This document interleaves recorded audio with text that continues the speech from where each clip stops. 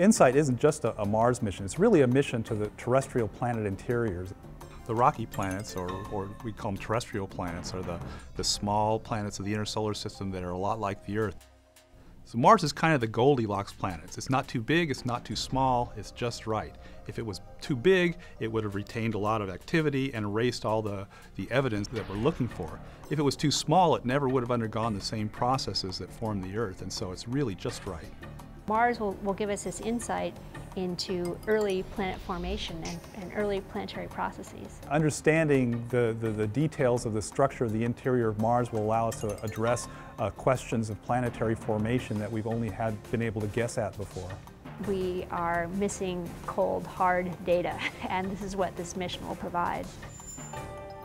The InSight mission is a, a, geophysical mission to Mars. It's going to go to Mars and take its vital signs. It's going to take its, its heartbeat, the, the, the seismic activity of the, of the, planet. So we're going to be doing that using a seismometer, a very high precision seismometer, using techniques that have been well developed on Earth to get the understanding of the crust, mantle, and core and sort of the relationship between those. It's going to take its temperature by measuring the thermal gradient of the surface, which tells how much heat is coming out. We also have a heat flow probe, we call it HP cubed, and what that does is going to basically take the temperature of Mars, and from that it'll be able to understand what the thermal flux is over the course of a full Martian year. And it's going to sort of uh, measure its reflexes by looking at how the rotation uh, wobbles with uh, the uh, tidal effects of the sun. Our final experiment is called RISE, and that's going to be looking at the uh, basically the wobble of Mars to help understand what the core size may be in composition. The Lockheed Martin flight system, our role is to build the aeroshell, the cruise stage, and the lander. All three of those have extremely high heritage from Phoenix. 20 meters, 50 meters, standing by for touchdown. Touchdown signal detected. Landing it. It sequence initiated. This is, this deck is the same Mars 01 lander deck. In fact, we use this in the test bed on Phoenix. So we're going to, it will be reconfigured for InSight because we have different instruments. We have the wind and thermal shield, the seismometer, and the heat probe. Uh, but other than that, it's, it's, it's basically the same deck. It's an advantage for us to use heritage designs because we're familiar with them, we've tested them, we've qualified them, they worked successfully on the surface of Mars. We have a really big head start a lot of things have come together to make it possible to learn you know, a great deal about the interior of Mars from a seismometer. We used to think we needed four, ten stations on Mars, but we know that we'll be able to get a lot of that same information from a, a single station. So we have CNES that's building our seismometer that's been under development for many, many years.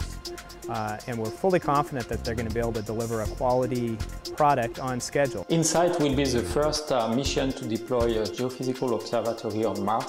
About uh, 40 years after Viking, it will reopen the case of uh, Mars seismology. What it does is it just sits on the surface of Mars and it's like a stethoscope. It listens to uh, what's going on inside Mars. We will cover really all uh, the seismic bandwidths we will be able, with this signal, to get information on the interior of the planet. On the uh, HP cubed instrument, we have that being delivered to us from DLR. That also has been under development for many years.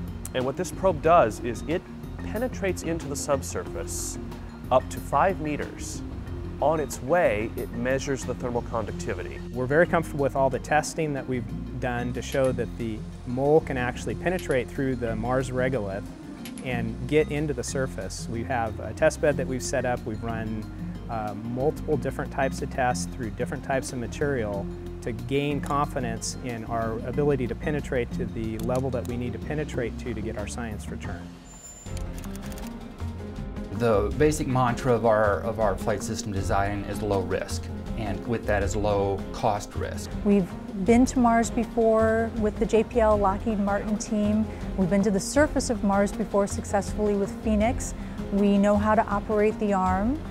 The surface operations are much, much simpler than Phoenix. We're putting two instruments on the surface and then we're leaving them there with no ground in the loop interaction, repetitive weekly uplink downlink sessions. We're just made to do this mission.